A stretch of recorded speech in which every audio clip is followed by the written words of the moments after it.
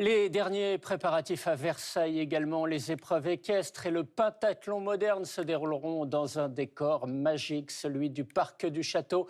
Il, euh, a bien sûr fallu aménager les lieux avec des installations éphémères, le temps des JO. Reportage Louis Simondet avec Antoine Marguet et Meryl Loisel.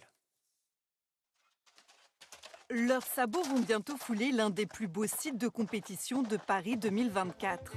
Un écrin au fond du parc du château de Versailles, avec une vue à couper le souffle depuis les tribunes.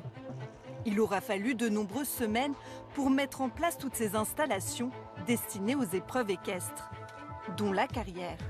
C'est une carrière qui est en subirrigation, donc en fait il y a un grand nombre de tuyaux sous le sable pour gérer en fait l'hydrométrie de la carrière et s'assurer en fait euh, de, de sa bonne densité.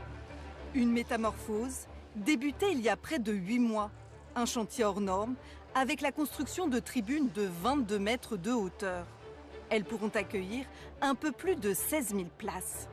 Saut d'obstacles, parcours de cross sur 5 km, 200 athlètes et 300 chevaux doivent concourir sur ce site exceptionnel. Ce sera l'occasion évidemment d'une rencontre entre un public euh, mondial et le château qui sera donc euh, magnifié par ce point de vue, mais aussi j'imagine en drone, avion, hélicoptère, je sais. On verra aussi le, dessin, le grand dessin du parc, la croix du, Grand Canal qui sera traversé par des pontons. C'est la première fois qu'on verra des chevaux euh, traverser l'eau. Les épreuves de pentathlon auront aussi lieu à cet endroit. Après les Jeux, le site doit être rendu à l'identique. Paris 2024 s'y est engagé les touristes pourront donc à nouveau profiter des pelouses, toujours dans ce décor royal.